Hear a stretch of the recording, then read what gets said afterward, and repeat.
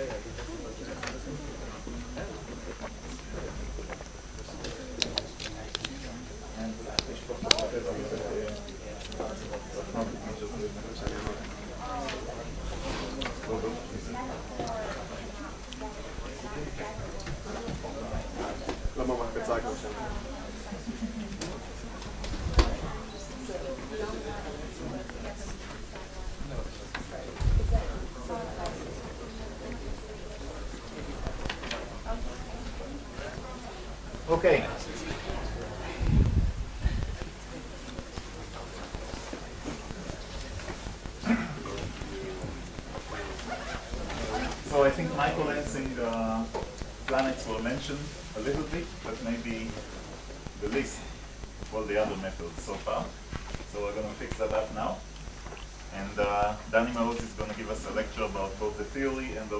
Observation of uh, planets microlenses. Thank you. So good morning to all of you. Uh, so in fact, um, the reason it was mentioned so little is uh, I should warn you in advance that microlensing is, is really the black sheet of exoplanet studies. and the reasons are that it seems very complicated, therefore the results are, are suspect.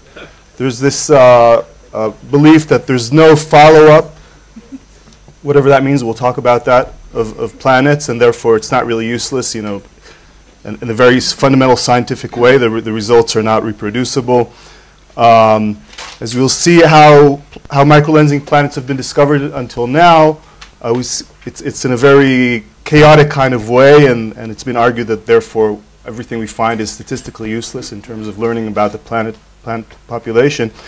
And in the end, to date, only something like 50 planets have been discovered with this technique, as opposed to the thousands and thousands from other methods. So, you know, what's the point? Um, so I'll already show you the, the answers to, to these questions um, that, that, that show that all these, all these criticisms are not completely valid. Uh, we'll show that actually things are not that complicated. It's quite simple.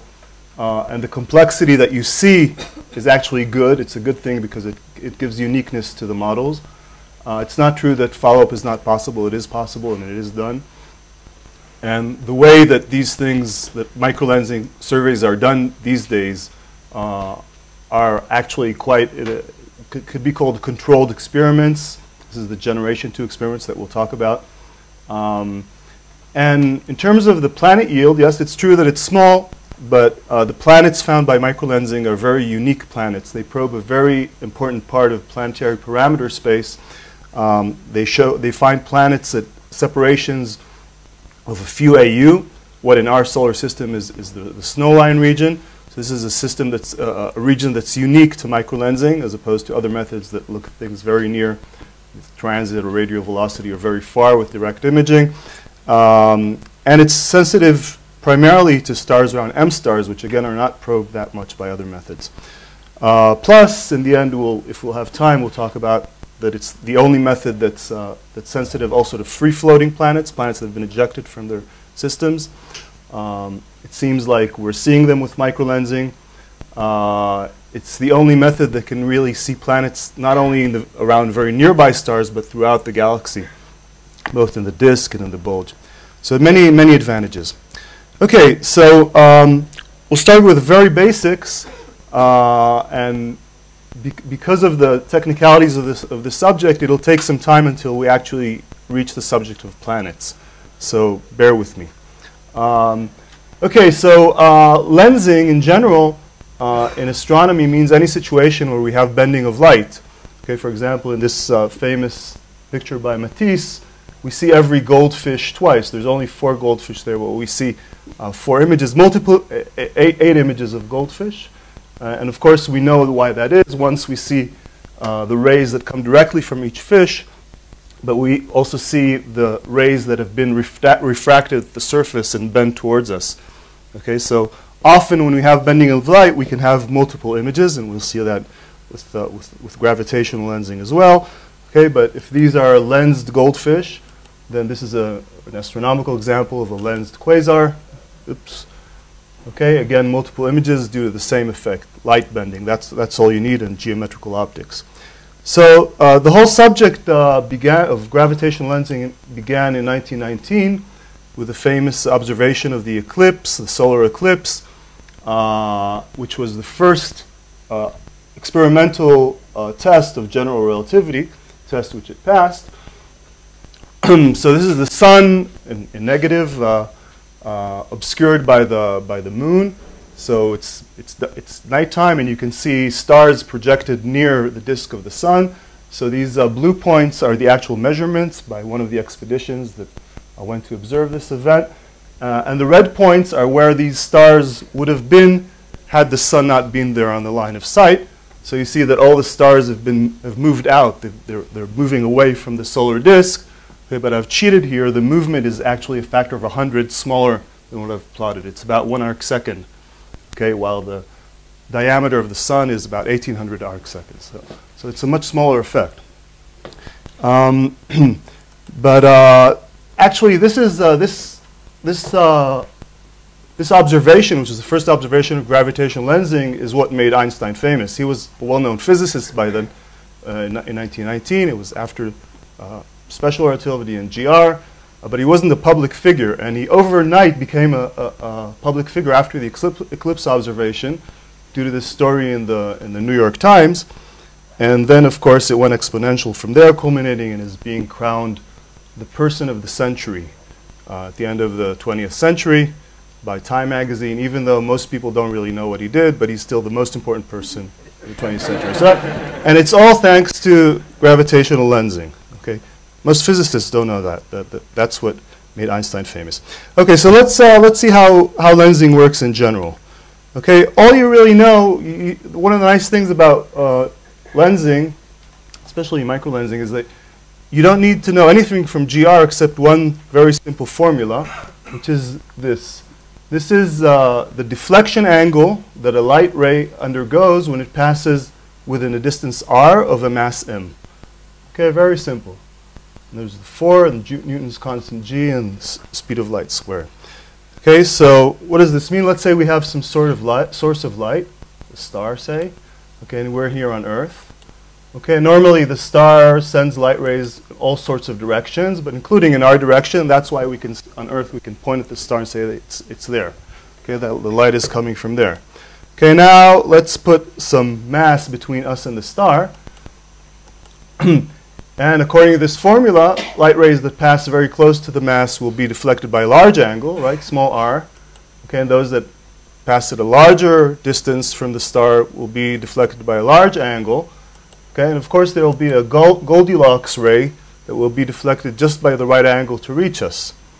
Okay, and um, therefore we will see the source not where it really is, but in that direction because that's where the ray is coming from. Okay, but, and uh, this is that alpha, that's the deflection angle that's written up on top. And here's the R, that's the impact parameter. And of course, we can see from symmetry that there's another ray that also passes at the same distance r and also reaches us. Okay, so we have two images, but of course there's actually a circular symmetry here. The rays that come out of the board also will reach us at the same angle. Okay, so we understand that uh, in this situation, the source will be deformed into a so-called Einstein ring. Okay, like this or like these. These are real images of actually galaxies in the middle lensing background galaxies into these perfect Einstein rings. um, okay, now uh, all this is true. This, this, uh, this formula comes out of GR in the limit uh, of weak fields. Okay, weak fields means that this, you can see that up to a factor of 2, 4gm over c squared is just the Schwarzschild radius. Okay? So r, the distance at which this ray is passing from, from, this, from this point mass, is much bigger than the Schwarzschild radius. That's another way of saying that the field is very weak. Okay? Um, so one, one, one uh, regime where this applies is that this, we're in the weak field limit. Okay, but that automatically means that this angle is small. Okay, it also means that this distance r is much smaller than the other distances in the problem. Okay, the, for example, these distances. Okay, otherwise this angle and the other angles in the problem would be small. And in optics, that's called the thin screen approximation. Okay, that all the whole all of the deflection, you know, you don't have this kind of gradual bending. You know, all the, all the deflection happens as if you know at one point. Um, so all these all these all these uh, limits are really the same limit. Okay, weak field or small angles uh, or thin screen. Okay, so we'll we'll, we'll use that shortly, especially the fact that it's short angles. Okay, so this this uh, the angle of this ring that's formed on the sky that the source is deformed into. Let's call it the Einstein angle, theta Einstein. And uh, let's calculate what its size would be. Okay, so let's put some distances in the problem put the distance between us and the source, DOS, between us and the lens, uh, DOL, and DLS, that's between the lens and the source. You know, sum of these two is, of course, the one at the bottom. Um, so now let's look at the, at the left-hand side at these, this line segment IS uh, uh, that's shown there. Okay, so IS on the one hand, because we have uh, these, this small angle approximation, we don't have to bother with uh, sines and tangents and things like that. We can say that SI is just alpha times DLS, times the distance that's, that's shown down there from the lens to the source. Okay, but it's also equal to this angle, theta Einstein, times the whole distance, DOS. Right? So now let's uh, put, instead of alpha, the formula we got from GR up there. Okay, right here where I've replaced r, again, with the angle, theta e, times dOL. Okay, otherwise it's the same thing. Okay, now we can see that theta Einstein appears here and here. So let's uh, isolate it, take the square root, and we get this important formula, which is the size of this Einstein angle, the, the, rate, the angular radius of the Einstein ring.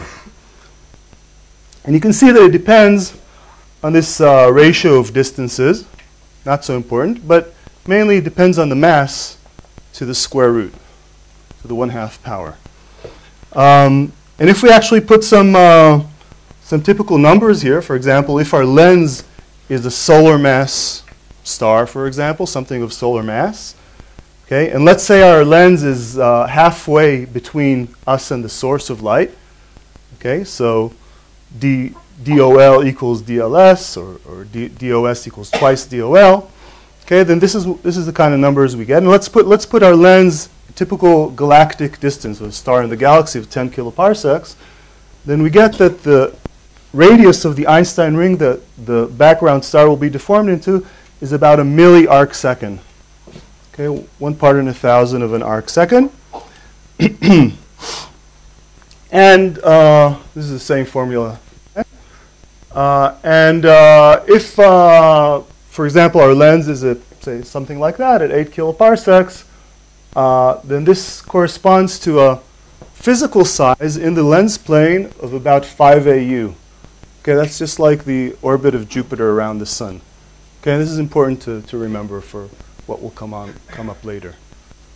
Okay, so this, this ring that we see around, uh, around the star, if we could see it, whose size is a milliarc second, that's about where Jupiter, normal solar like solar system like Jupiter's would be.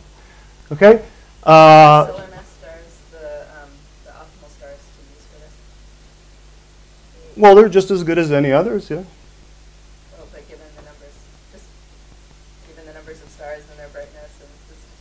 Well, well, we'll get to that. We'll see, we'll see that, you know, we, we don't get to choose the stars that do microlensing. Nature does that for us, and we'll see that they're mostly lower mass stars because those are the most common. But it's a good point we'll get back to.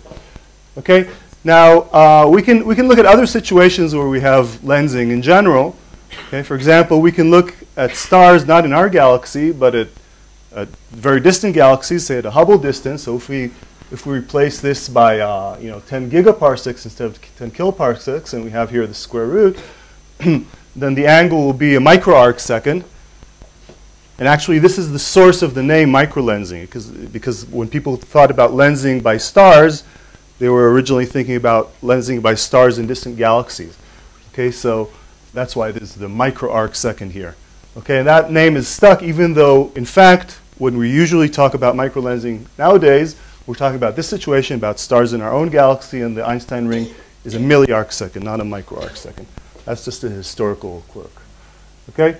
Uh, we also have uh, galaxy lensing, where the distances are big, but the masses, instead of one solar mass, are say 10 to the 12 solar masses. Again, there's a square root, so it's 10 to the 6 times bigger. So we have uh, Einstein rings that are about one arc second in size, like this one. Okay, this is again a galaxy lensing a background galaxy into an almost perfect Einstein ring. and we can make the masses even bigger, say 100 times bigger if we look, go to a cluster of galaxies. Okay, so M will be 10 to the 14 solar masses or something like that. And then we'll have Einstein rings of, uh, of size 10 or tens of arc second, like, like the, the partial one that we see here around this cluster of galaxies. Okay, so but the important thing to remember is that the Einstein uh, angle really sets the scale of the problem. Okay, and it's dependent on distances we saw, but mainly on mass, on the square root of the mass. Yeah, there's a question there? No. Um, okay, so let's go back to now to this uh, simple geometrical optics diagram. That's all it is. Okay, and now let's break the symmetry. Let's let's uh, assume that our source is not directly behind our lens. Okay, so things get a little more complicated now. As seen on the sky now, the source is at an angle beta relative to our lens. Okay, and now this, this is the particular ray that will, will be the Goldilocks ray that will be bent just right to reach us, and then we'll see the, an image of the source at this angle. There won't, no longer will be a ring, okay, because we've broken uh, the symmetry, okay. and if we want to calculate this uh, angle now, okay, then we'll again go to the left side, and we look at these two line segments, AS and SI plus. Their sum is, of course, AI plus. Okay, just, just the lengths. And if we, again, we'll do the same kind of, uh, of exercise that we did before with small angles, okay, we, we, we can represent this one with DLS times alpha, right? SA, the bottom, bottom line segment is DOS times beta, and there's some DOS times theta. and uh, let's uh, isolate, B, we have DOS both here and here, let's isolate beta. So we get this equation here. and again, let's put instead of alpha our formula for the deflection angle, just like we did before. And now, if we look at the, th this thing, by the way, is an important equation. This is the lensing equation. It's really all you need in order to do lensing. Okay, it's just a geometric. It's, it's again just uh, geometrical optics with, with small with small angles or with thin screen approximation. if, if we take the right hand and left side together, beta and this side, okay, we can see we, we, we, we, we can get an, a quadratic equation for theta, okay, that appears here. Okay, and, and so again, th theta is, uh, is, is the angle where we see the, the lens image of the source uh, rather than where it really is. And quadratic equations, of course, have two solutions. Okay, and that tells us that there's, there's, there's not just one ray that reaches us, there's two. Okay, there's one from the other side too. There's a positive and a negative solution. And here it is, you know, with a formula we've all been using since, since high school. okay, so whenever we break the symmetry, we have two images, two lensed images around a point mass.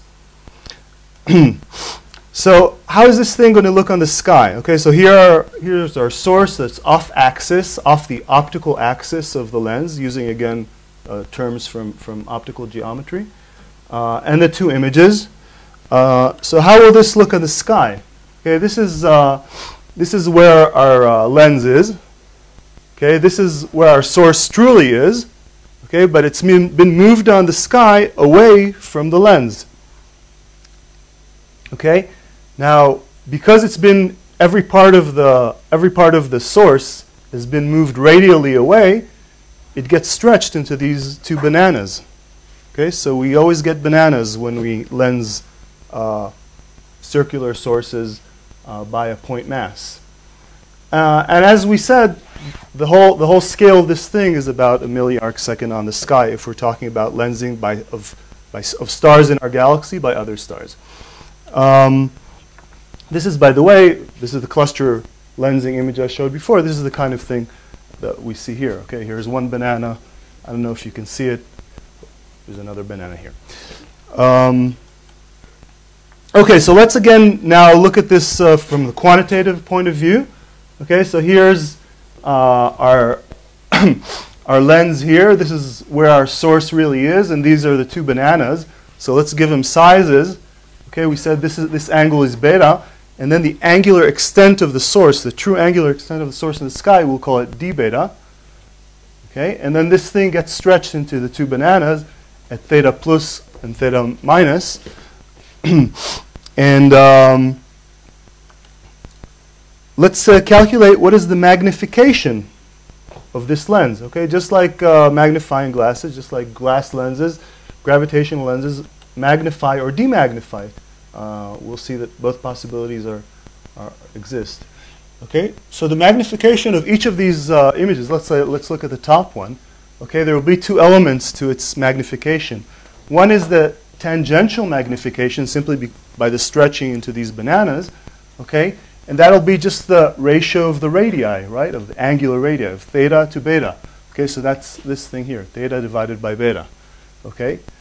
But also the width can change, right? It can shrink or it can grow. Okay, so that will be just d theta over d beta. In other words, the derivative. Okay, but that's easily calculable, right? Because we already have a formula that we know we got from, the, from solving the quadratic equation. Okay, so we just have to take the derivative of this relative to beta. Very easy. and we'll stick these, uh, these two factors, right, the, the tangential and the radial uh, shrinking or stretching. Okay, and we get this formula for the magnification of uh, the top and the bottom images. Okay, and this is what it is. It's not very pretty, but it's easy to get it. now, there's a fundamental theorem in GR that says that gravitational lensing conserves surface brightness. Okay? So you have a source, say a star with surface, let's say uniform surface brightness, and now you put a lens on the way to it, it'll appear bigger. Okay, but the surface brightness has stayed the same. That means that overall it's gotten brighter. Okay, more light gets to you, and that makes sense because the lens is, is sending our way all sorts of rays that wouldn't have gotten there had, had the lens not been there. Okay, so in, in gravitational lensing, magnification equals amplification. Okay, that's the reason why I'm, I'm marking this with this A. Okay, that's for amplification. And that's the amplification or magnification of the two lensed images, the two bananas. Okay? And we can also look at what is the total magnification. It's just the sum of these two. Okay? If we divide what we get, uh, if, if, if, we, if we express instead of using beta, we, we normalize beta by this uh, Einstein radius, Einstein angle that sets the scale of the problem, then we get this rather simple formula for the total magnification. Okay, and this is what we can actually measure because remember that whenever we have microlensing of stars by stars, the scale is a milliarc second. That's much too small to resolve with any optical telescope, and microlensing is, a, is an optical phenomenon. Uh, since stars emit optical light, not other things generally.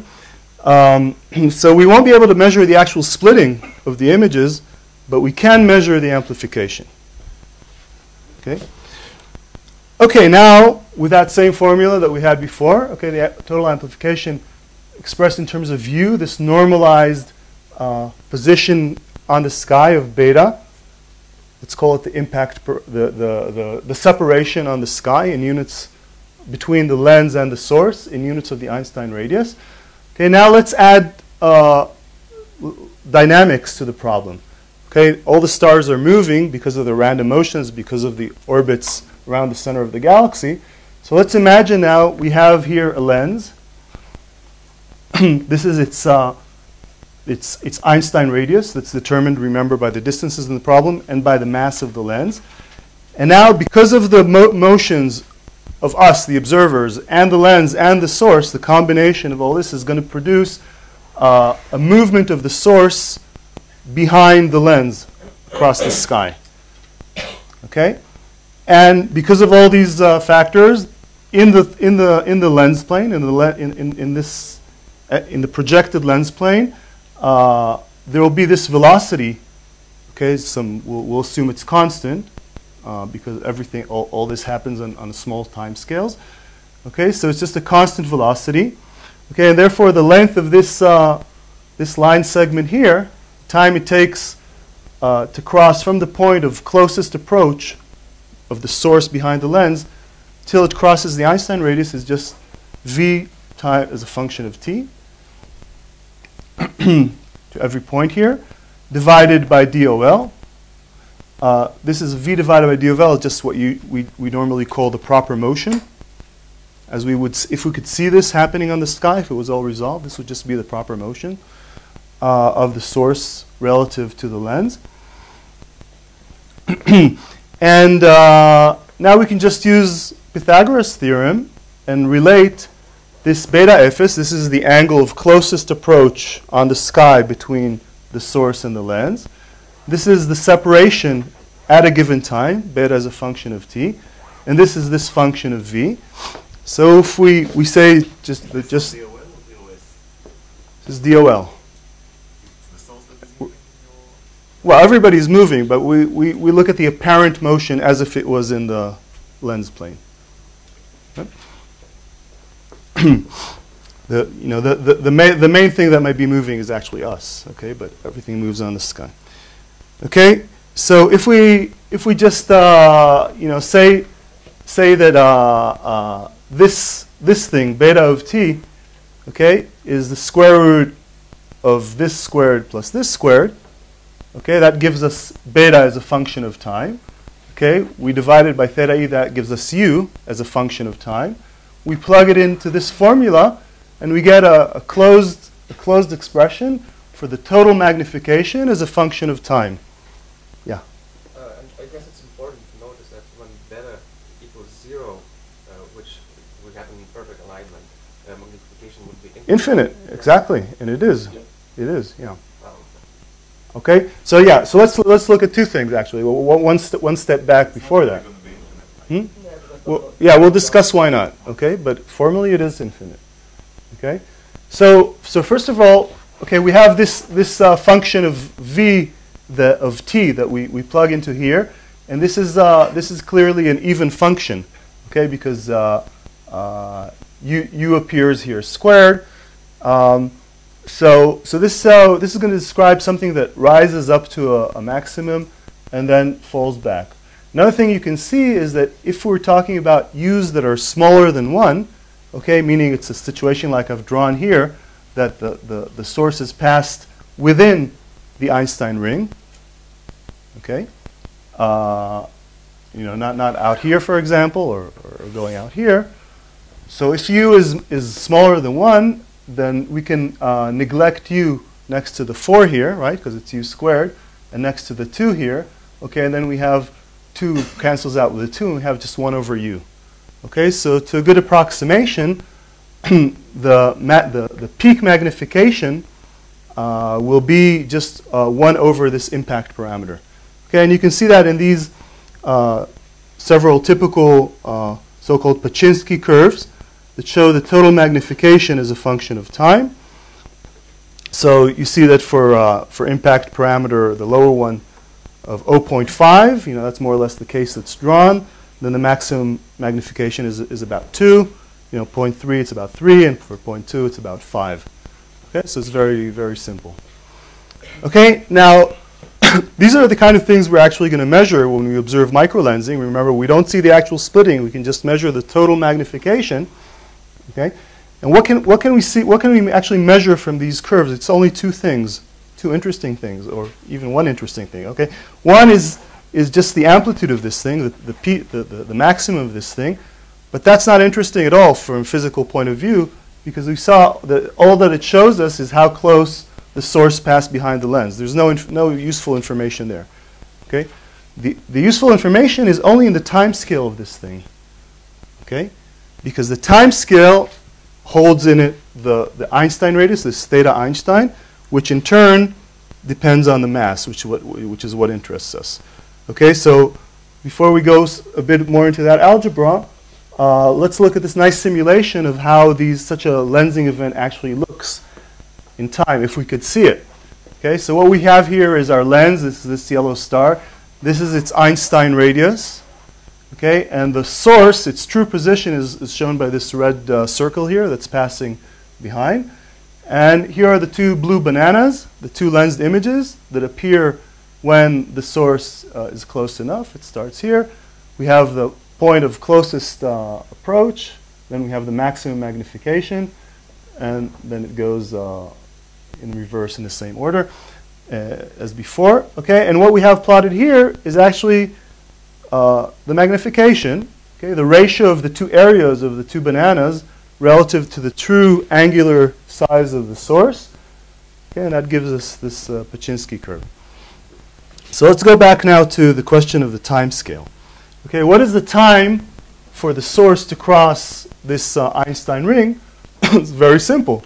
It's just the radius of the ring, which is the, the, angle times the distance to the lens, divided by this v that we have in the problem. Okay, or again, v over dOL is just the proper motion, right? It's how many arc seconds per year or milli arc seconds per year or whatever uh, the thing the, the source passes behind uh, the lens. Okay, and because of the dependence of theta e on, ma on mass, on the square root of mass, this whole thing depends on the square root of mass and on distances and other things, uh, and velocity particularly. Okay, but but in principle here we have some kind of measure from the time scales of the mass of the lens. Um, and again, let's look at some typical numbers. if we put, again, our lens somewhere towards, say, the center of the galaxy at uh, 8 kiloparsecs, and we'll take typical random velocities we have in our galaxy of 20 kilometers a second. And will, if we'll use as our lens uh, a, a, solar mass star, uh, then the time scale comes out to two months for this thing to go up, okay, and then another two months to go down. Okay, that's the Einstein radius crossing timescale. If, on the other hand, we'll take something that's a thousand times less massive, a Jupiter mass lens, then because it goes like the square root, it's 30 times uh, less, it'll be just two days. Okay, so much faster going up and down. So this already tells us that just from the time scale, we can learn something about the mass of the lens.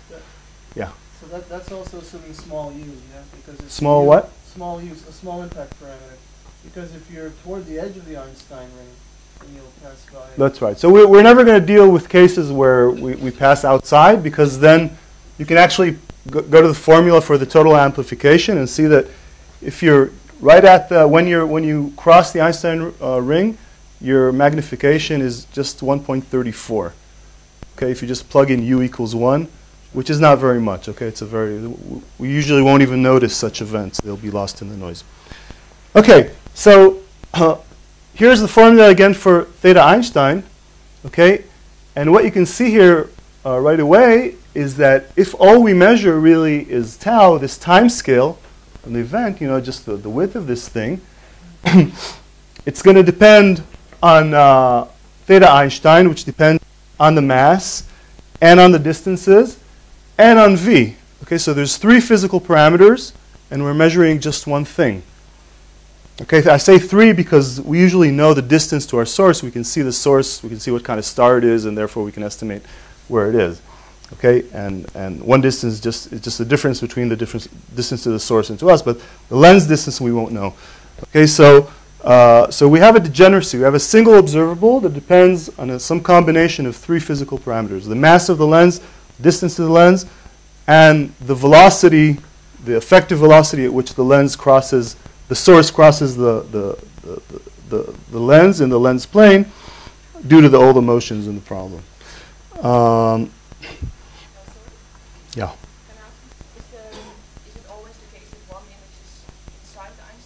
Yeah. Yeah. Well, we don't see the images, remember. These are much too small, a milli second. No, no telescopes can do that. So all we measure is these light curves. Okay, that's a handicap we have to live with. Um, okay, however, there, there is hope, yes? Milli or a micro? I thought it was the micro No, it's milliarc seconds. Uh, micro is, is for historical reasons. It would be microarc second if your if your lens star was in a very distant galaxy. But in our galaxy, it's it's always a milliarc second of, of order. Okay. However, uh, there is hope, and there, and uh, these degeneracies can sometimes be removed by what we call high order effects, or by uh, follow up of the event after long long after it's over. Okay.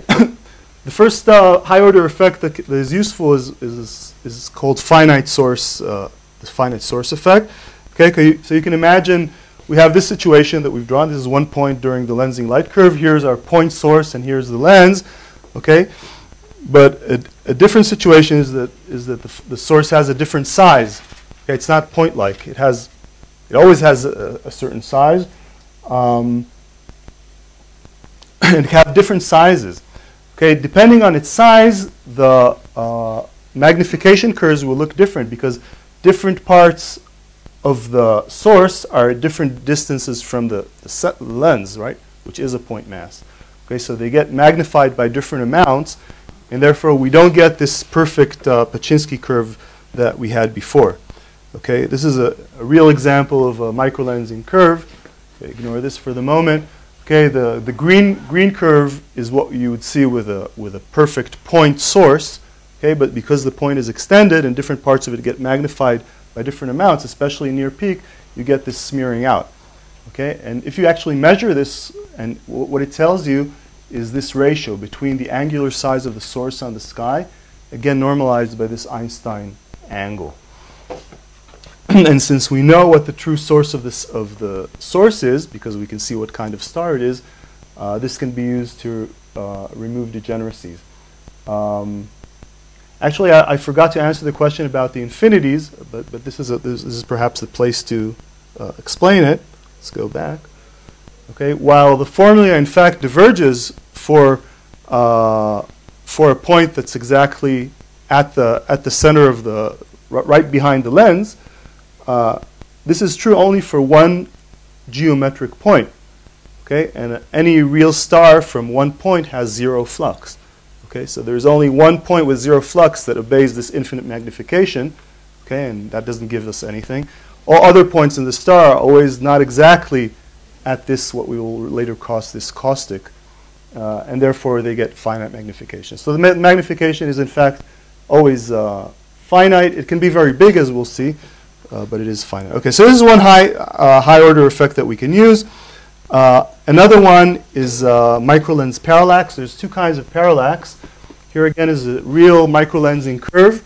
Uh, this is uh, the dashed line is, is the actual symmetric curve that's described by the formula we derived before. Okay, but the, act, the real form, the observed form of the microlensing is this place, this, this curve where the data points are. and the reason for this is that this is a quite a long event. You'll see this is the time in days, so this has lasted uh, of, of, order a, a, year or so. Okay, and during during this time, the Earth is accelerating around the Sun. Okay, so it's changing its velocity, and that v that appears in the formula changes during the event.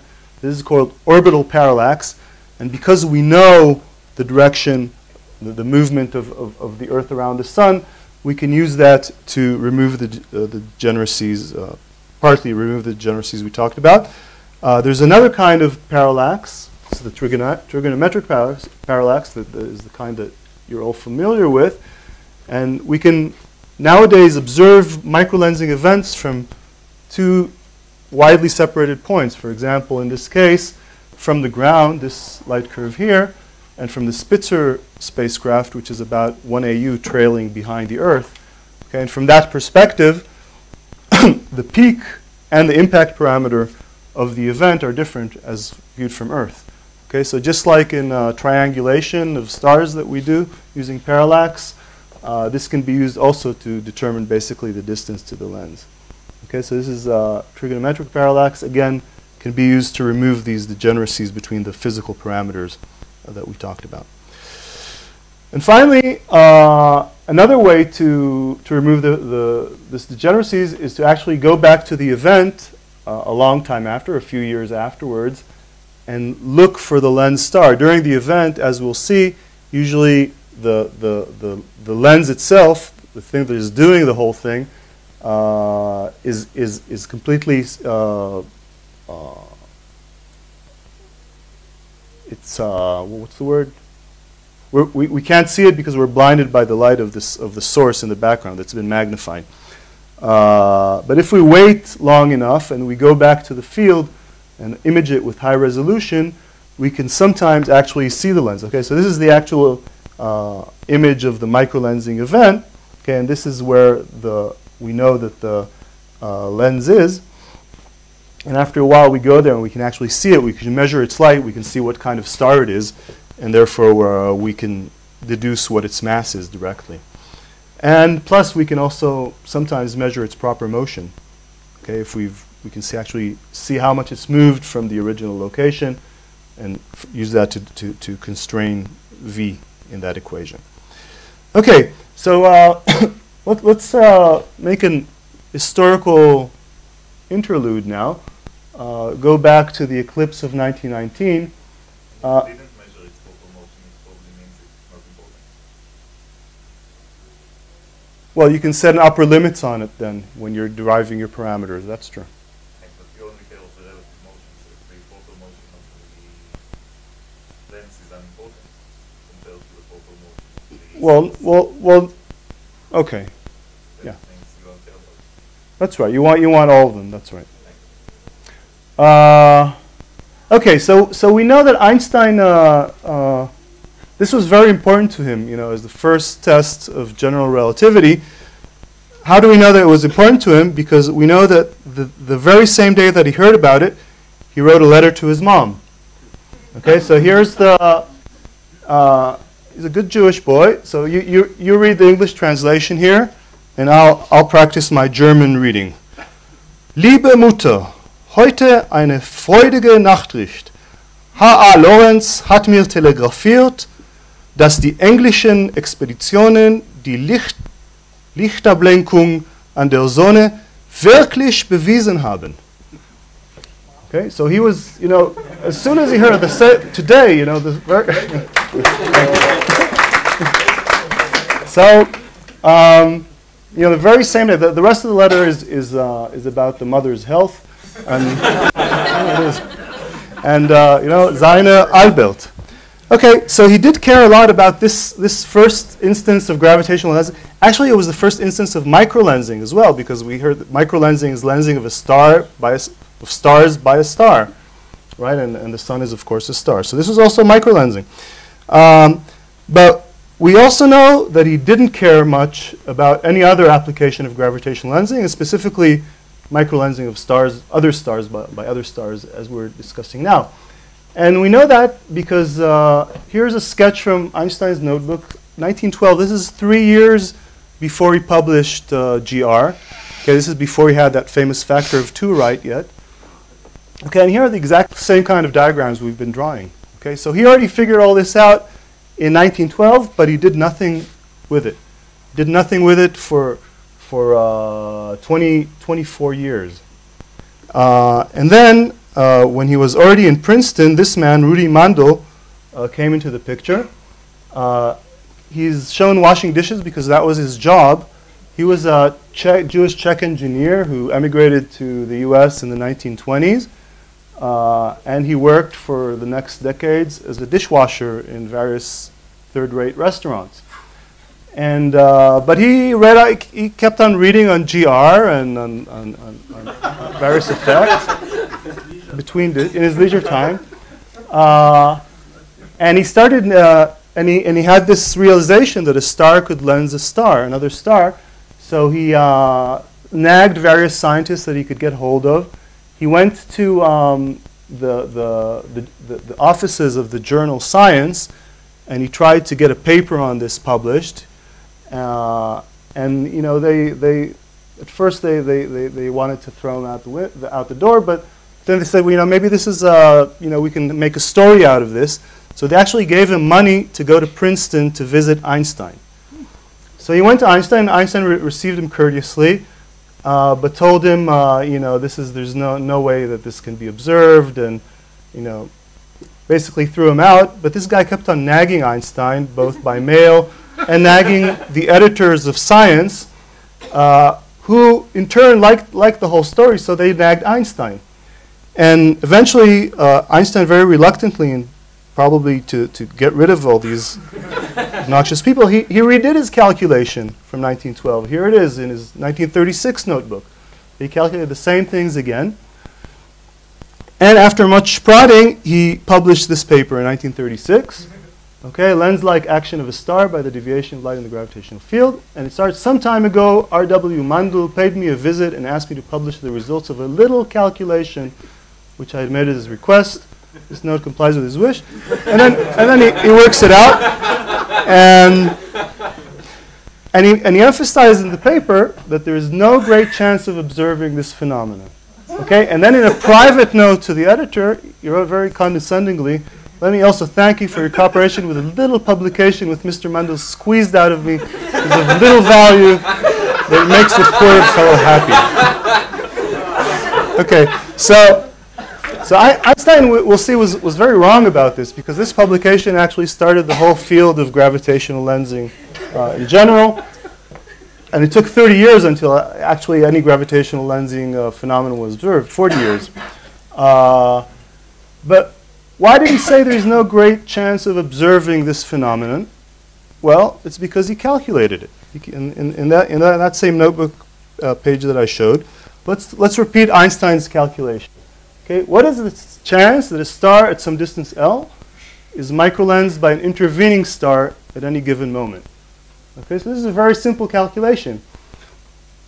The number of stars that are passed to within Einstein radius uh, on the line of sight to the background star, because we, as, as we said, in order to get any significant lensing, your source has to be more or less within the Einstein radius.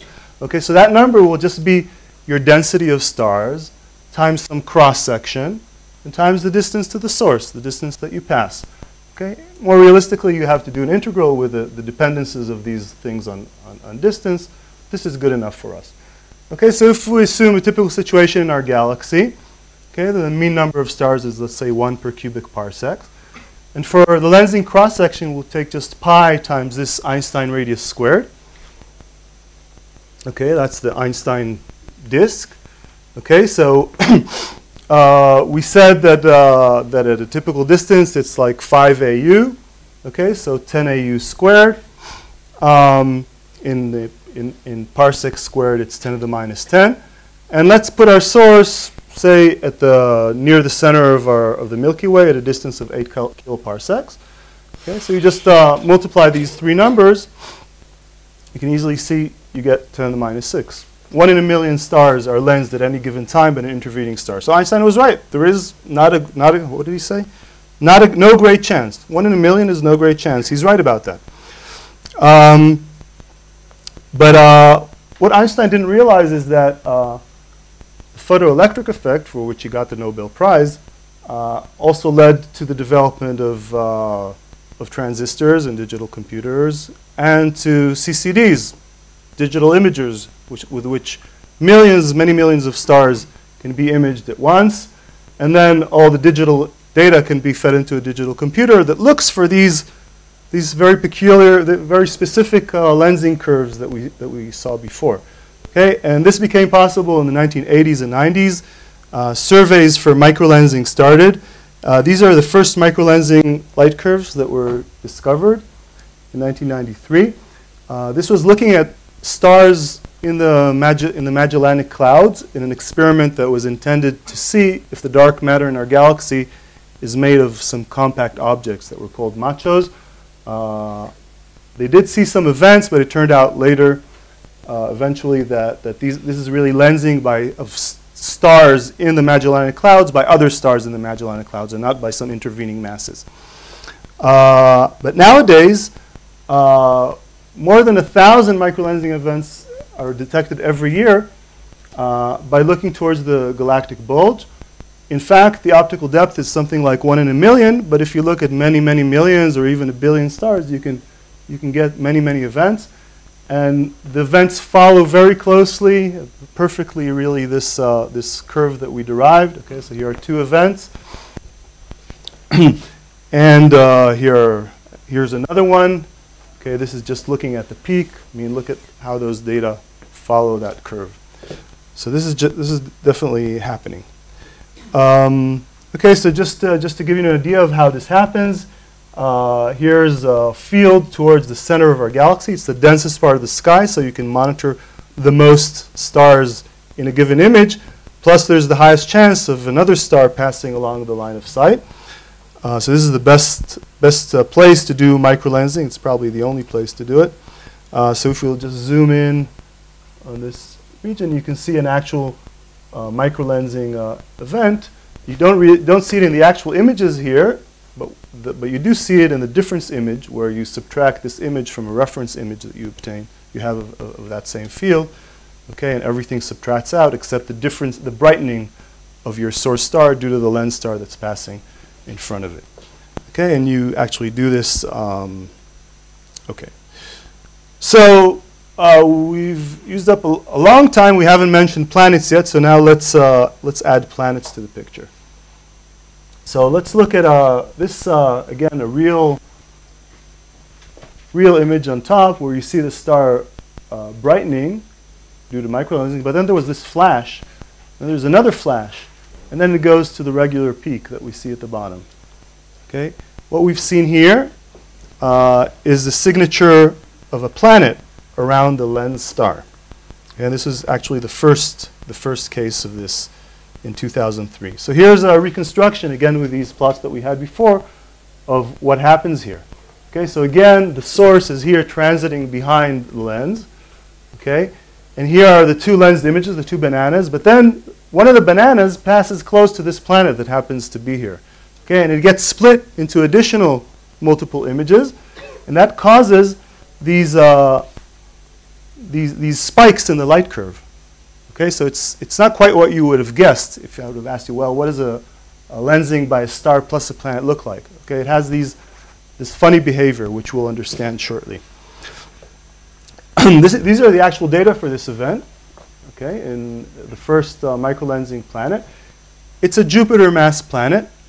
Uh, we'll talk shortly about how we know that. Um, and here's another one. Okay, this is, this is probably what you would have guessed uh, the, the microlensing light curve of a star plus a planet looks like, right? It's just normal lensing due to the star, and then there's this little blip here. Okay, that's the planet. Okay, but we'll see that it doesn't always look like that. Sometimes it looks like the previous example. Okay, and sometimes it looks like this. Okay, this this double horn on top of the peak of the of the lensing uh, light curve. sometimes you don't even see it by eye. It's only when you subtract out the point model, the, the, the, the light curve of a, of a point lens, then you see that it has this residual, which is telling you that there's a planet there. Here's uh, the first example of a two-planet system that was discovered uh, with microlensing. Uh, the light curve is even more complicated. Okay, there's the zoom ins, zoom zoom ins on various parts of it. Okay, and the reconstruction of this uh, tells us that it's it's it's a Jupiter plus Saturn system that's very actually very analogous to the solar system. Okay, because if this is our solar system with Jupiter and Saturn in terms of distances and masses, uh, this is very similar just with everything scaled down by a factor of two because the lens star is an M star. It's just half a solar mass and everything is moved in. Uh, the, the planets are smaller, so it's a, it's a scaled down solar system. It's very nice. And this actually illustrates the, the power of microlensing to actually see such things, okay, which uh, other methods are not that uh, sensitive to. Okay, and, and just uh, not long ago, another two planet system was found, so here it is. Uh, this is, uh, again, somewhat analogous to the, to the solar system. Um, so um, let, us uh, go back to these, these uh, images and try to see th these simulations and try to understand how planets around a lens star perturb the microlensing light curve. Okay, so again, we see that what happens if we have a planet here, when it's when the image, one of the lensed images passes close to it, that's what produces that spike in the light curve, right? Because of the additional splitting.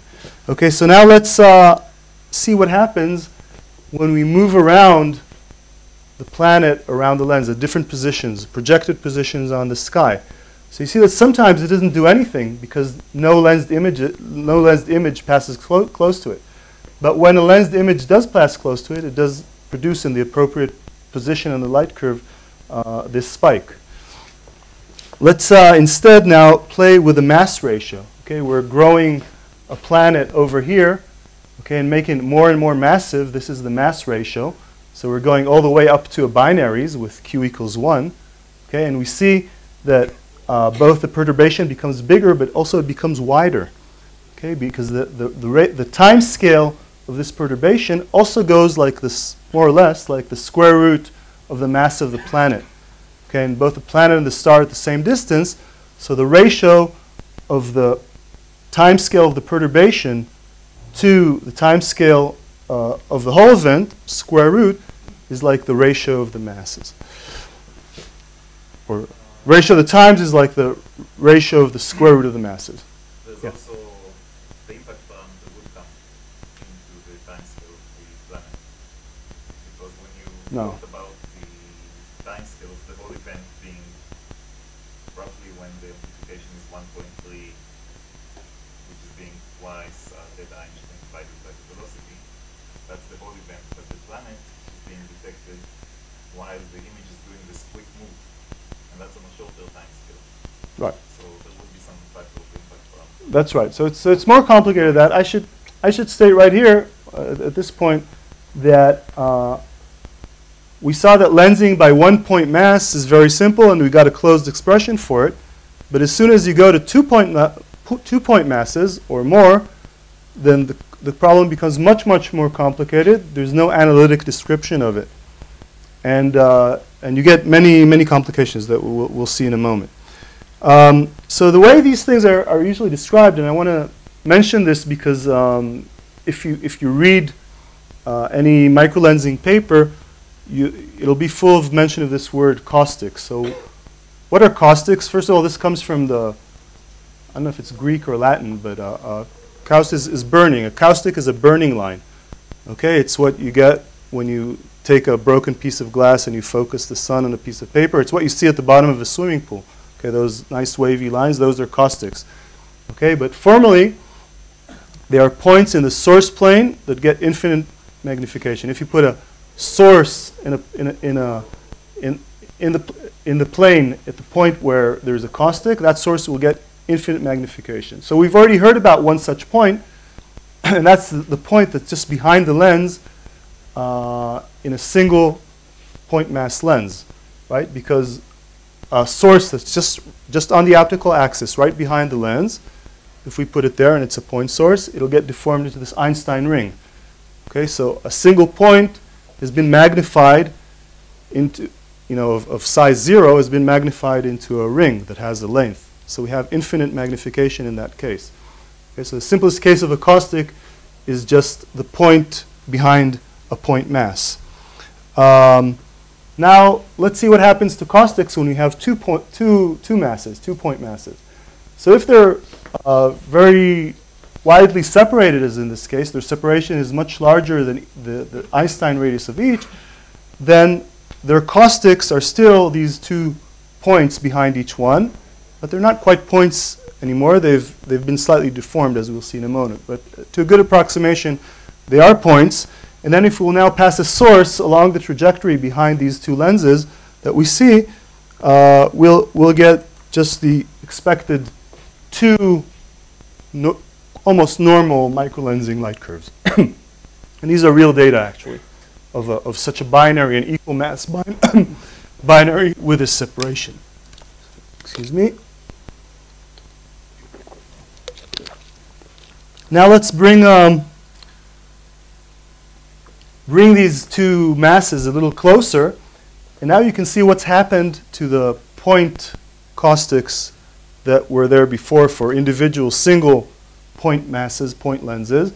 You see they've been deformed and enlarged into these diamond shapes that are pointing at each other.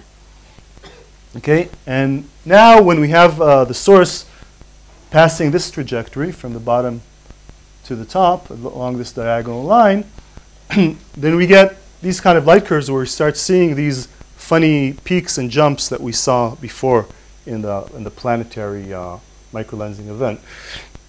Okay, and what we can see is that these, these peaks happen when we pass close or on top to one of these caustics, and particularly when we pass close to one of these so-called uh, cusps, if we'll look more closely at this.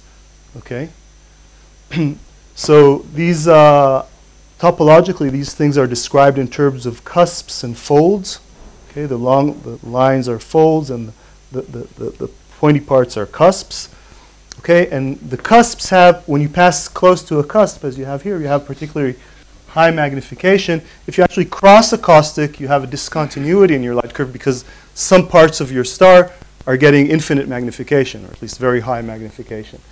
Um, okay, if we bring now the, the, these two more or less equal mass stars even closer, okay, then you see that the caustics merge into this uh, six, six-pointed star.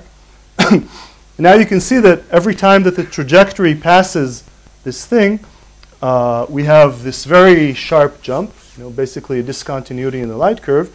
Uh, but before that, we have, when we pass close to this cusp here, we had this little bump, okay, a high bump, then the caustic crossing, this thing, and then the caustic exit. Okay, so the reason I'm showing you all this is just to give you some intuition as to how, uh, how, how these very complex uh, light, microlensing light curves are formed. Okay, it's a result of caustic passages and caustic approaches. And the caustics themselves, their very complex structure, is a result of the fact that we have more than one point mass. Yes?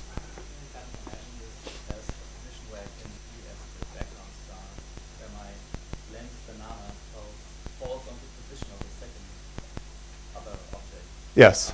That's, that's, that's a different way of looking at it. Okay? Here, here, here you're, you're looking at it in terms just of the where, where your source is um, in the lens plane. Okay. Um, okay, and finally, let's uh, approach something that's closer to what's inter interests us. These these two masses, as you can tell from their Einstein rings, their individual Einstein rings, are about the same mass. Okay, but if we make make now one more massive than the other, then you see that this whole six-pointed uh, caustic structure moves towards the center of the more massive object. Okay, very close to it. So you can imagine that if, if, if, it was a factor, not like here, but a factor of a thousand as between a star and planet, it would be even more extreme. Again, you have the caustic uh, crossings and, pass and, and, cusp approaches and so on as we had before. Um, and now if we go back to this animation that we saw before of the first detected uh, microlensing event, and here's that same uh, six-sided uh, structure that uh, you can see that these cusps happen, the, these cusps in the, or these jumps in the light curve occur during these caustic crossings. Okay, so that's what's, that's, that's what's causing the whole effect. Um, Okay, now this is a zoom in on this caustic structure again. What you see here, again, this is what, what, what is actually plotted here is the actual magnification in, in the source plane. Okay, uh, that's what this grayscale shows. And so you can very clearly see this diamond shaped caustic that we've talked about before. But there's also this central caustic structure uh, that's in here very close to the lens. Okay, the lens here is here at 0, 0. Okay, and there's a second mass, which is a planetary mass, much lower mass, which is out at 1.2. Okay, so it's out here, slightly outside 1.2 in Einstein radius units, so it's slightly outside the Einstein radius. Okay, so again, the caustic structure has moved in close to the main mass.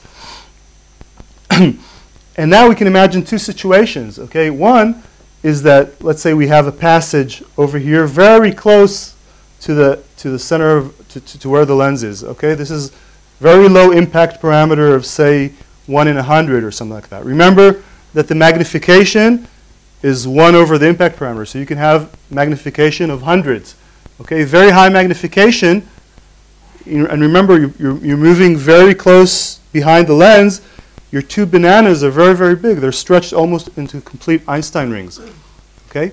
So basically, this is almost an Einstein ring situation. And then you can imagine that if there's a planet around the star anywhere close to that Einstein ring, it'll, the, uh, the, the light curve will be perturbed. Okay, you'll have an anomaly because the image is everywhere, okay, along that ring, and it gets perturbed by the planet. Get, gets split and magnified. Okay? On the other hand, uh, so, so, so, one, so, so this means that uh, if we have a high magnification event, one with a very small impact parameter, it has almost 100% efficiency to detect planets in the, in the Einstein ring region if they're there. Okay, so such, such events are very good for probing for planets around stars. Okay, on the other hand, look at this. Suppose with this same lens, the source transited here along this trajectory. Okay, so here too, uh, we would, you know, in this specific case, which is similar to what we showed before, we would get a, a signal. Okay, but if it happened that the trajectory passed here, or here, or here, uh, then we would get just a low amplification curve. You know, for example, if it passed up here at an impact parameter of 0.1, then the magnification would be just a factor of 10. But we would see no signature of, of, of the lens, of the, of the planet, of the fact that there's a planet out here. Okay, so it's two different kinds of, uh, of, of, events. Those that go near the central caustic that's in here, or those that go near the planetary ca caustics. These are much more common, but they're much less efficient in terms of discovering lenses. Um, okay, so with that uh, understood, let me repeat again that the only practical way of actually calculating these light curves that I've shown is numerically through what's called inverse ray tracing. the idea is that you imagine, you, you build a model, you imagine that you have your lens, your main lens, your, your, your lens, your host star, it has some planet next to it of some assumed mass at some position, and that you have a source in the source plane behind it somewhere. You shoot out rays from you, this is why it's called inverse ray tracing, out towards the lens plane, at every point that your, your ray hits the lens plane, you deflect it according to that one and only formula that you need that we showed at the beginning for the deflection angle. Okay, so that's shown here. You go to the source plane with the appropriate distance, and then you ask, has my ray hit the surface of a star or not? Okay, if not, I throw it out. If it did, did hit the star, I look where in the star it hit. The star could have limb darkening and so on. Okay, so I take that little piece of the star and I count it. Okay, that, that, that ray does reach me. Okay, that's a Goldilocks ray. I count it in the amplification. Okay, I do this for every model. I do this for various positions as the source moves across the plane of the sky with a given velocity or proper motion, and I build a light curve. Okay, and I do this now for every possible combination of the masses, the separations, the positions on the sky, and so on many, many free parameters. So it's a very, very large parameter space that you search in order to find the one that fits your observed microlensing light curve. Okay, so it's, it, it is a difficult task, but there's no, no other way to do it.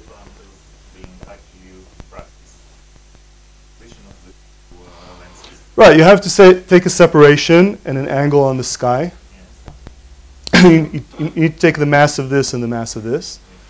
You need to take the distance of the lens. Um, the size of the source. The size of the source. That you can you can add that in later to like fine tune the model. But yes. Yeah. Yeah. Yeah. But that those are things you can, you can assume that are known. Um, and the and the velocity, of course, the projected velocity, uh, which has two two components. Yeah.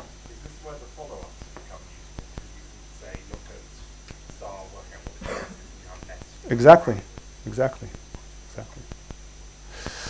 Um, okay, but, but basically once, just to complete this, okay, once you identify those that do reach you, then you can, uh, essentially you can draw the, the additional lensed images, but all you really care about is, is not what the split images look like, but rather what is the magnification curve, what is the total amplification. Um, there was another question. Okay, so uh, one can ask, why, why bother with all this? Uh, why bother looking for planets with microlensing? Well, it's because microlensing really probes a unique region of planetary parameter space, as I briefly alluded at the beginning. Okay, so here's a plot I'm sure you've already seen several times during this school, and you'll see more times. Okay, so these are uh, more or less as of today the known uh, planets discovered by all the different techniques, mass versus uh, separation. so the green is the radial velocity, blue is the transits, uh, here's the imaging planets, a few pulsars, and the red ones are the are the microlensing planets. So you can see here that there's only a few tens. And also shown here, as usual, are the solar system planets. Um, so first thing that you see is that uh, the microlensing planets cover a region that's, that's not very well covered by other techniques, so it's complementary in that sense. But also, it's the region that's most similar to the planets that we know and love in, in the solar system. Yeah, Scott. What sets the lower limit to the mass you detect? There, there is no, in principle, there is no lower limit because as, as long as your image passes close enough to your lensing mass, it will cause an anomaly. And is it But, but, but it becomes very rare that this will happen, okay? So that, that's one problem. So if, if you take the, the, the cases that are probable, then in the end you're limited by signal to noise because if, the, if, if you don't pass very, very close to, say, to a, to a moon, okay, then it'll cause just a very small perturbation in your light curve, and therefore you won't see it in the noise. Small perturbation over a small time. And, so And a small it's also time. a question of I- how ex- exactly. you sample. Exactly, yes. But, you know, one of the reasons this is interesting is that if you build up planets while conserving the total mass, then um, the, pro- the probability that you'll see a, an event, I think, goes up the smaller the masses are. If you have more of them, yes. Right, if you have Yes. them. Yes. So I guess I'm trying to figure out what you can deduce about the mass distribution from the fact that you haven't seen anything uh, uh, Yeah. Well, actually, I, I will get to that. I'm going to talk uh, towards the end about statistics. What, what we know today about the distribution from, from the observed events. Okay, but another uh, interesting way to look at this plot is to actually, rather, rather than look at the separation at this, uh, on the x-axis, normalize it according, somehow according to the mass of the, of the host star. Yes? Now, question concerning the measures of the semi-major axis. Is there any good way to correct for the projection effect, Mm. or do we then apply the same arguments, Steiner I arguments, statistically, like for the masses of Yes, yes, yes. So, so of course, this is not for lensing planets. This is not really semi-major axis. It's the it's a separation at the moment of lensing. Remember that that the orbital motions and so on in planets take much longer than the time of duration of these microlensing events, which are weeks or months. Okay, so we, we always see a snapshot of the system. In a few systems, actually, orbital motion has been detected in the microlensing event, events that were long enough. Uh, but in general, it's just a snapshot. So just what, what we just see is the instantaneous projected separation of the planet. But yeah, if in a big enough sample, you'd expect that this in the end boils down to more or less the same thing, you know, up to a factor of order one. Um, okay, so let's now normalize this uh, separation by, uh, by, by something that's proportional to, to mass. Um, and so what we see here now is the semi-major axis or separation divided by the snow line radius. Okay, that's just the name. It's not, I don't really mean that I know where the snow line is, especially the, as this refers to the snow line at the time of planet formation. But the idea is that if you uh, scale uh, this some, some radius with, uh, with a mass to some power, as theories say uh, planetary systems form, there's some, some place where there's a snow line and more massive stars have the snow line further out.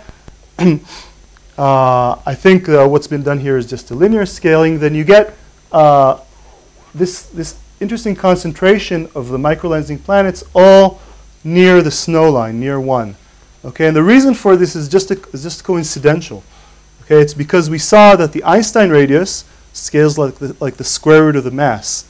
Okay, and microlensing is sensitive only to planets that are near the Einstein radius because that's where the lensed images are and that's, that's where images get perturbed. Okay? So if you divide this, this Einstein radius by some radius that's also proportional in some way to mass, that concentrates uh, planets in this region. So that's telling you, this is again probing uh, uh, a, a, very, a very interesting region of planetary space that's not probed that well by other methods of around a few AU around solar mass stars or one or two AU around low mass stars.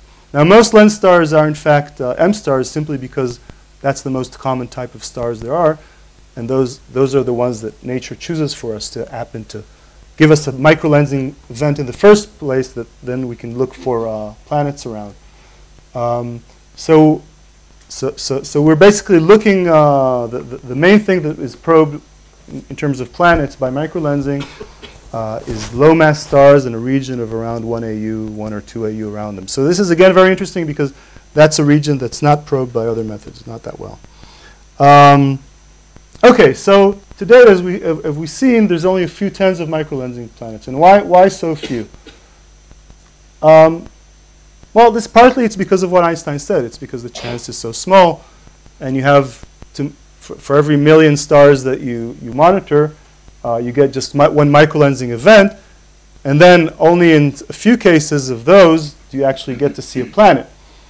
And uh, the, the, taking this into, this into account, until recently, the survey strategy has been one that was uh, outlined by, by Andy Gould and Avi Loeb, 1992, which said, well, monitor your millions of stars and look for those that are undergoing microlensing. And then among those, focus just on those that based on the beginning of their light curves, they look like they're going to be very high magnification. Okay?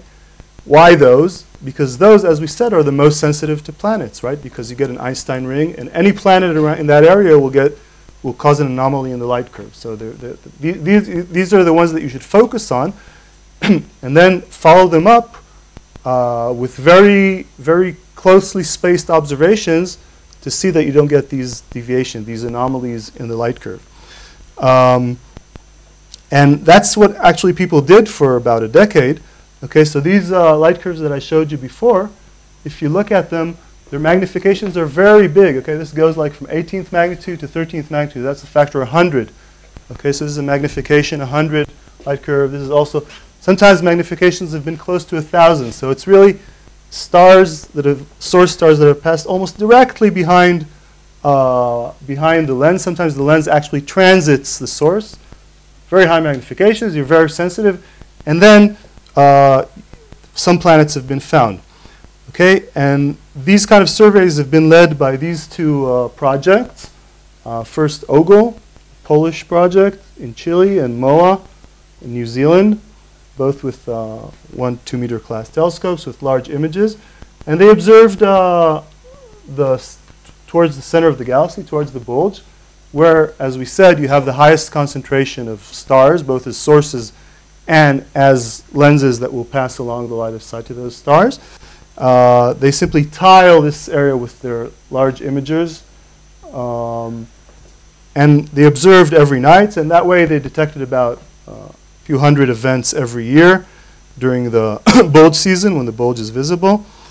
Uh, and as Gould and Loeb uh, outlined, uh, they then followed up the promising high magnification events with a global network uh, of, of, telescopes, including many amateurs also, because when these things are bright, uh, you, you, can, you can see them even with small telescopes.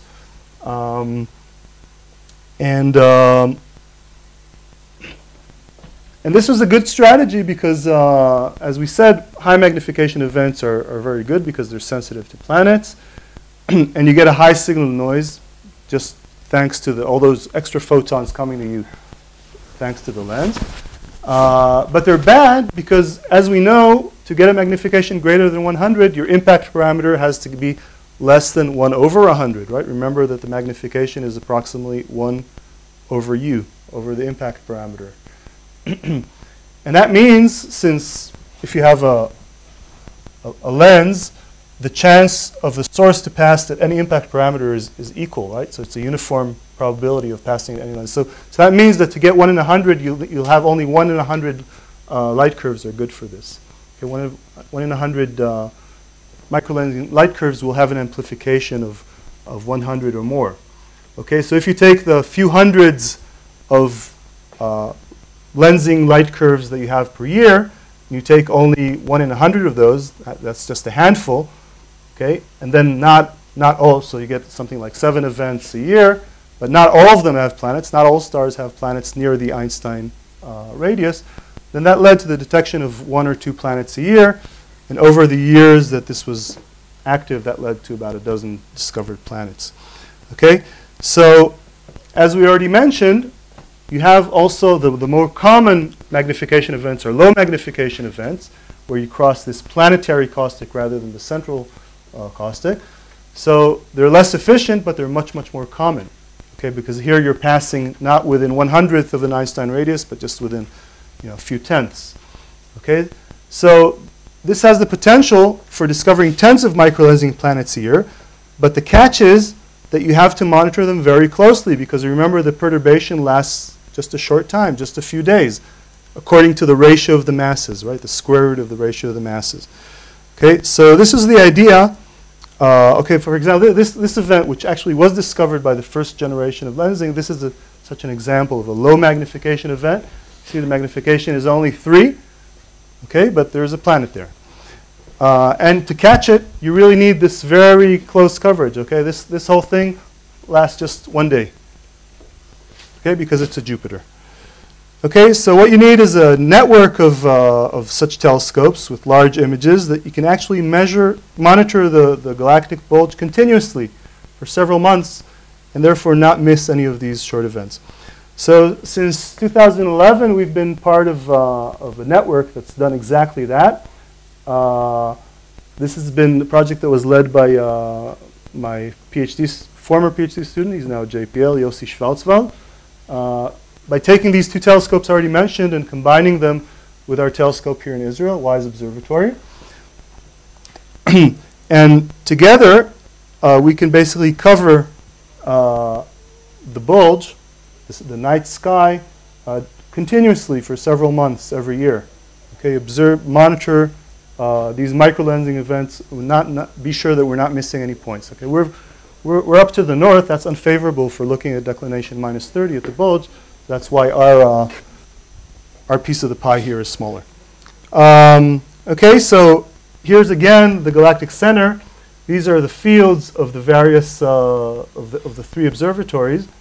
Okay, so we have one common footprint that all of us cover, and we look at it continuously, 24-7 for several months.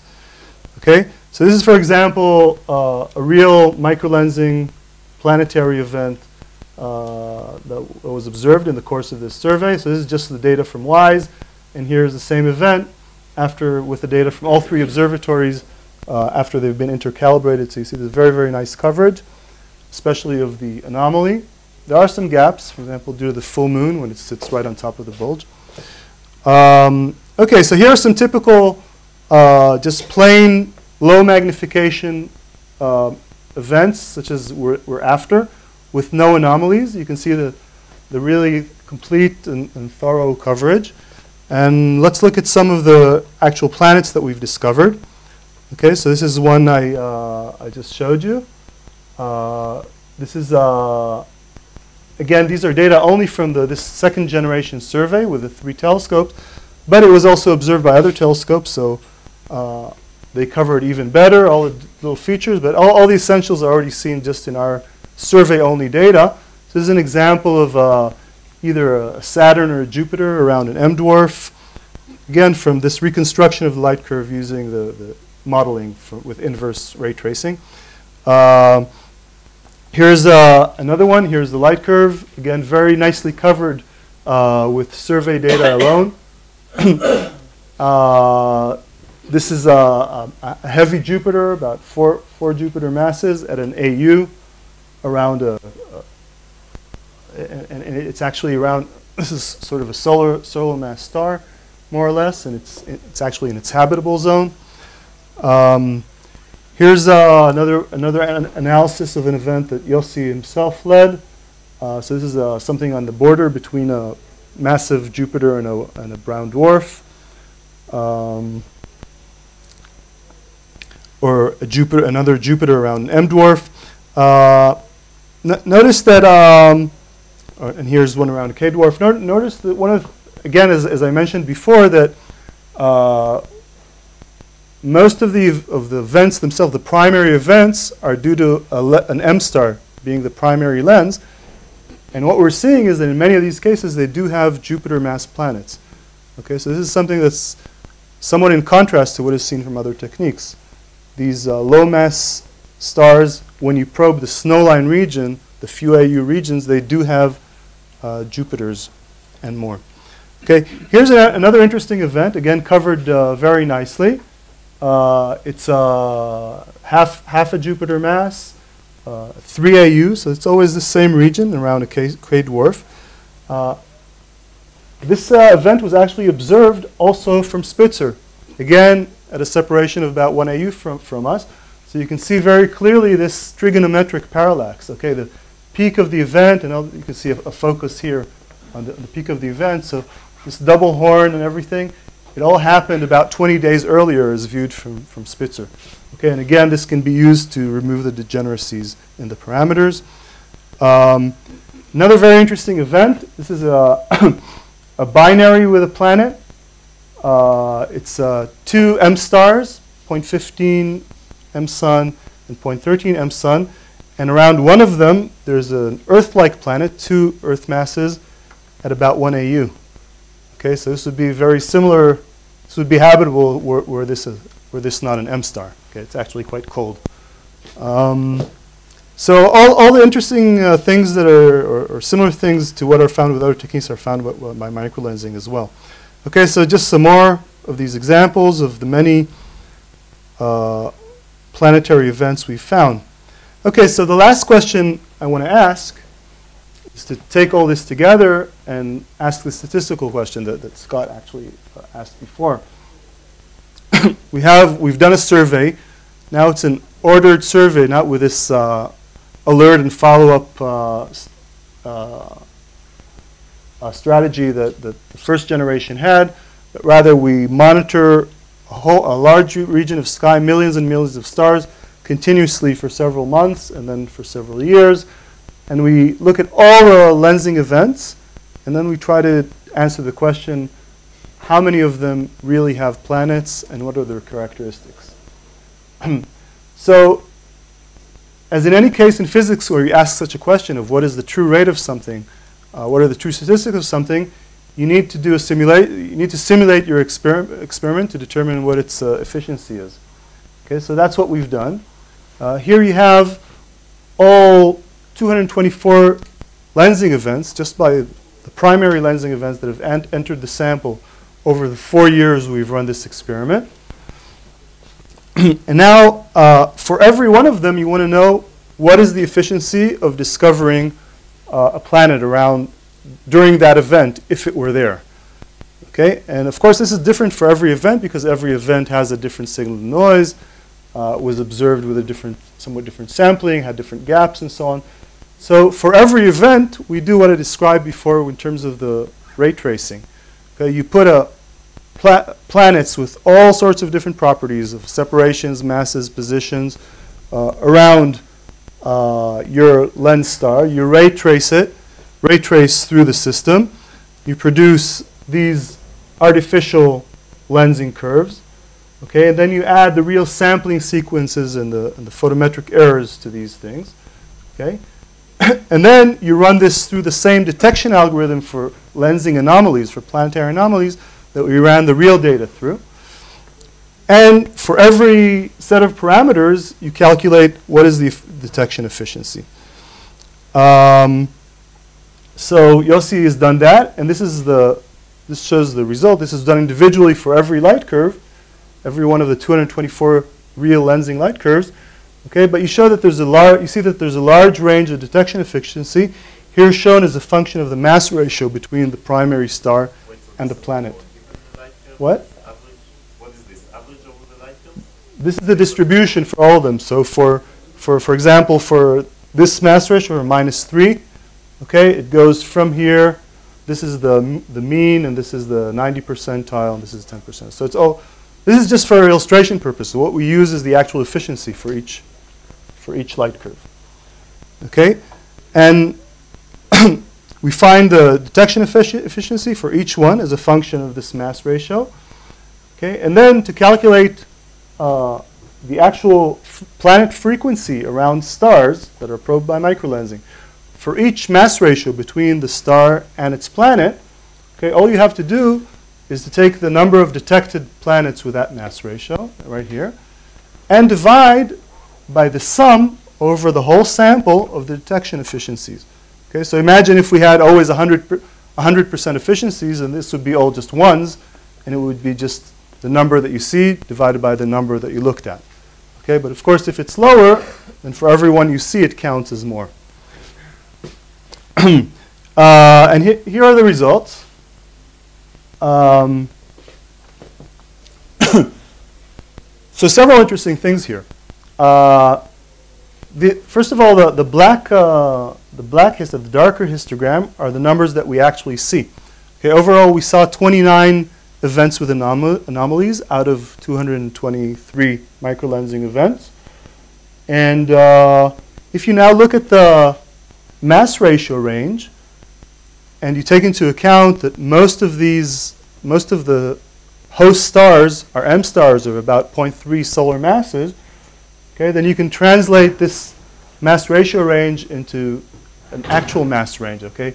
So here's Jupiter, Neptune, Earth, and this is the brown dwarf, brown dwarf region. And over here in this bin, bin, these are binaries, okay? These are close binaries, okay?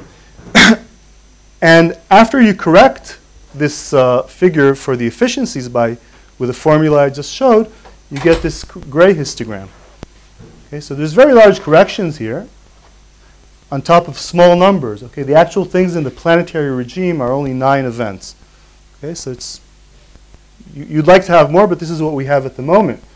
Okay, but if you look at it now, you see that there's uh, the frequencies of binaries are about 10%, which is what we also see from other techniques. and if you look at uh, at this side, okay, then you see that the frequency goes up as you go to smaller masses. Lower mass planets are more common than higher mass planets. Jupiters are quite common, around 5% or so, around these M stars that are probed by microlensing. Um, but brown dwarfs are also quite common. Okay? This, just a second. Um, and there is a minimum here, okay, but it's not in the brown dwarf region. There's no brown dwarf desert as has been seen around FGK stars using radial velocities. Okay, but there does seem to be a super Jupiter desert. It's not really, it's not really dry desert, but this is where the minimum between these two distributions are. Um, okay, this is very, very reminiscent of this plot from uh, 10 years ago by Grether and Lineweaver, okay, based on, on radial velocities of FGK stars, which shows very clearly the brown dwarf desert. Uh, I'll, I haven't forgotten you. okay, only it seems that here when you're probing, uh, rather than at rather small separations and around solar-like stars, you're prob- probing at lar- somewhat larger separations around the snow line and around mostly M stars. It seems like the whole thing is shifted to the left to lower masses. Yes, Oh, uh, what is the error bar it's, it's just Poisson because it's very, it's very small numbers. Okay? I mean, can't I draw a straight line through those? Look at your error bar. Yeah, yeah. So uh, this is, we, we never we never claimed this is uh, significant. It's just su- suggestive. Okay. But uh, yeah, I, I completely accept that that criticism. Um, okay, in terms of actual uh, actual, if you just sum sum these bins, the planet bin, uh, uh, for example, the Jupiter bin, where is it? There we go. Okay, so the, the Jupiter frequency is something like this. In terms of all uh, ne- Neptunes, they're about 10 times more, uh, more common, it seems. And together, it looks like about half, half of the stars that are probed by microlensing have uh, planets in the snowline region. Um, okay, this is, you want me to end now? I have one, I can say one, one more thing about free floating planets. Where, where's my wallet? One minute. Okay. So, uh, as I mentioned briefly at the beginning, uh, microlensing is the only technique where you can actually, because it doesn't, doesn't need light to detect planets, it's using only gravity uh, and light from a background source. It's the only method that can detect free-floating planets. So, throughout these surveys, there have always been uh, these very, very short events that last only one or two days. These are two examples. Okay?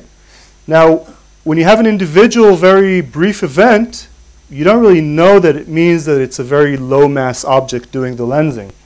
Okay? Because remember, this time scale, uh, in, in this time scale, enters not only the mass through the Einstein radius, but also the distance and the velocity. So it, it could be something that's simply very close to you or passing uh, very quickly across the line of sight, having high velocity, or both. Okay, but on a statistical basis, this is a paper from several years ago by Sumi et al., by the MOA collaboration. You can see that, that there is an excess of these uh, uh, very short timescale events over what you would expect just from the known lensing populations. Okay, so if you take uh, the, all the, the population of all the things that could cause you lensing, Okay, that's first of all, of course, you know, main sequence stars and brown dwarfs. That's shown here. Okay, and it cuts off at one solar mass because everything here that has already evolved off the main sequence and turned into white dwarfs, neutron stars, and black holes. Okay, and now you fold that through the galactic distribution of distances of these things and their velocities, then you predict uh, this curve here. Okay, and these very short time scale events, okay, this is just a plot of number of microlensing events as a function of their time scale, their Einstein crossing time scale. Okay? You see this excess paper based on two microlensing seasons of 10 events that, have, that are shorter than two days, shorter or equal than two days. Okay? And you can reproduce these things if you add a population of uh, free-floating Jupiters, but you have to make them very, very common, about as common or even twice or three times as common as the number of stars. So so every, every star in the galaxy has ejected maybe one or maybe even three Jupiters sometime. And they're just floating out there in space and giving us these signatures. Uh, I'll skip this. So this is, uh, this is what uh, the slide I showed in the beginning. So I hope I've convinced you that this is wrong, that microlensing is really great. It can answer all these questions, and it's not a black sheep. Well, it is a black sheep, but it shouldn't be. Okay, thank you.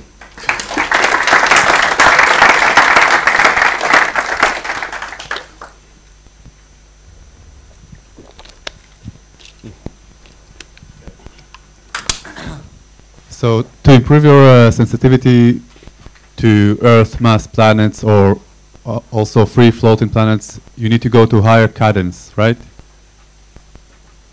Not really, no, because uh, oh, oh, you want free floating Earths or just Earths? Both. Okay. No, I think the, the, the, current cadences that are done today, just, just to give you the number, uh, the, the, for example, the second generation, we have like half hour cadences. Uh, so, so basically for for four months, all these stars, these hundreds of millions of stars, are observed uh, every every half hour or so. That's that's good enough to to get Earths. Uh, what you really need to, in order to get more is to cover larger areas. Um, and, and, and go deeper. By, by, by going deeper with better observing conditions, better seeing, or doing this for space, from space, for example, with WFIRST, with Euclid. In infrared, you can see simply more stars. You're effectively monitoring more stars. So that's, that's the way to increase your statistics. In terms of the sampling, we're, we're already there. Of course, you, I mean, you can, you can go even to shorter timescales if you want moons and things like that. Uh, that, that kind of follows on to my question then. Uh, so have there been any detections, or do you anticipate there being detections of exomoons using microlensing? So there haven't been any. Um, and, and, and, the question was, do, do, I expect there to be any? Um, po possibly. Okay, it's it's it's a matter of luck as well, and on the on, how many exomoons there are in general, which we don't know. Uh, but it, it, it might be possible, especially with. Uh, um, let me let me go back to this slide, which I skipped. Okay, you've heard a lot about uh, Kepler and K2. So starting in April, there's going to be a campaign towards the galactic center, uh, uh, and and uh, this is geared specifically towards microlensing. So with the kind of precisions that you get from Kepler, that's actually a possibility. Okay, let us, uh, Ruth. With Gaia, will it be possible to predict any events in advance?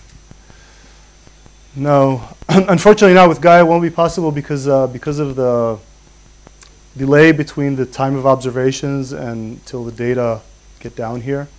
So it'll be it'll be too late. So just, just seeing the vector of motion, the vector changes?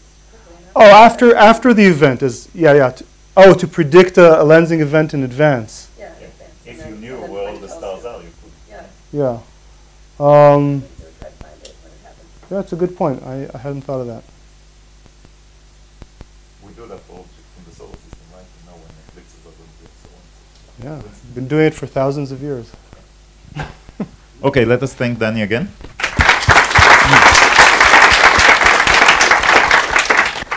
So, uh, the hero of this talk was Einstein, I think. And uh, you may know that Einstein has some association with the Hebrew University. All his uh, original uh, papers and notes are being kept uh, here. Some of them are even in display down here, some in some archives in here. And you guys get a lot of money for it too.